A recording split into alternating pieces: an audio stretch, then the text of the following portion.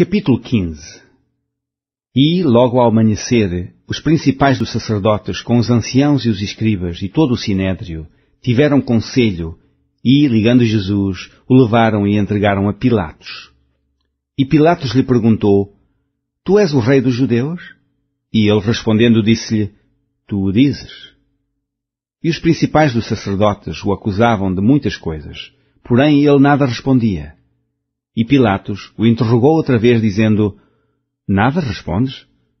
Vês quantas coisas testificam contra ti? Mas Jesus nada mais respondeu, de maneira que Pilatos se maravilhava. Ora, no dia da festa, costumava soltar-lhes um preso qualquer que eles pedissem.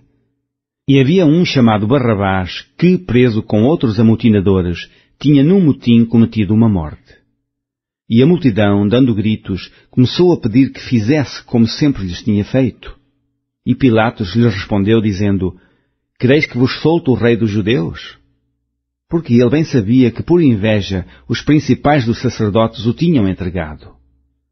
Mas os principais dos sacerdotes incitaram a multidão para que fosse solto antes Barrabás.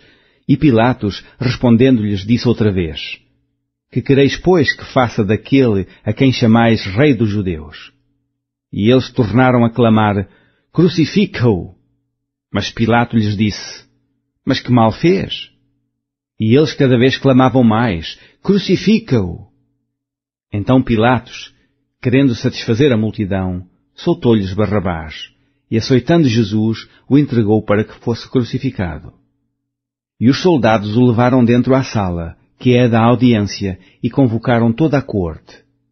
E vestiram-no de púrpura, e tecendo uma coroa de espinhos lhe a puseram na cabeça, e começaram a saudá-lo, dizendo, Salve, rei dos judeus!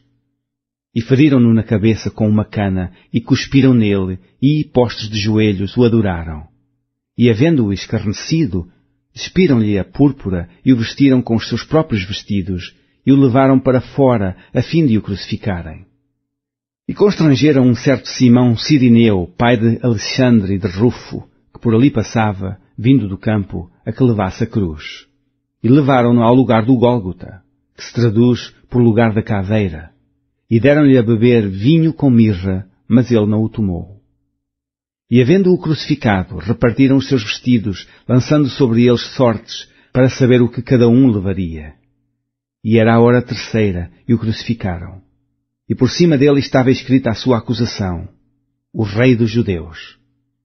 E crucificaram com ele dois salteadores, um à sua direita e outro à esquerda. E cumpriu-se a escritura que diz, e com os malfeitores foi contado. E os que passaram blasfemavam dele, meneando as suas cabeças e dizendo, Ah, tu que derribas o templo e em três dias o edificas, salva-te a ti mesmo e desce da cruz. E da mesma maneira também, os principais dos sacerdotes com os escribas diziam uns para os outros, zombando, Salvou os outros e não pode salvar-se a si mesmo. O Cristo, o Rei de Israel, desça agora da cruz para que o vejamos e acreditemos. Também os que com ele foram crucificados o injuriavam. E, chegada a hora sexta, houve trevas sobre a terra até à hora nona. E à hora nona, Jesus exclamou com grande voz, dizendo, Eloi, Eloi, lama sabachthani, que traduzido é, Deus meu, Deus meu, por que me desamparaste? E alguns dos que ali estavam, ouvindo isto, diziam, Eis que chama por Elias?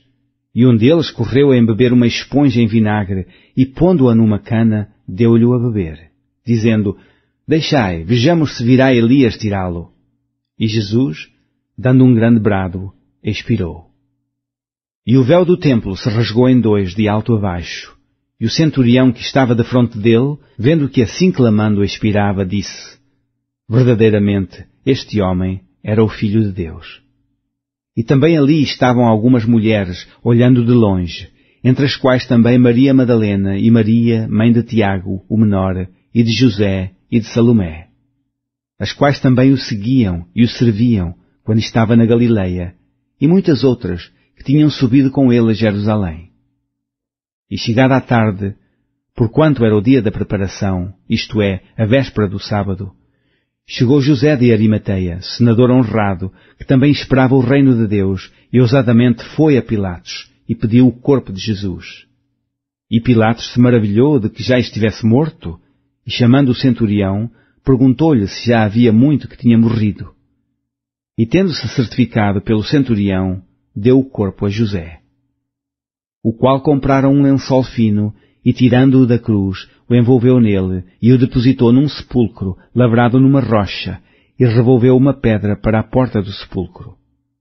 E Maria Madalena e Maria, mãe de José, observavam onde o punham.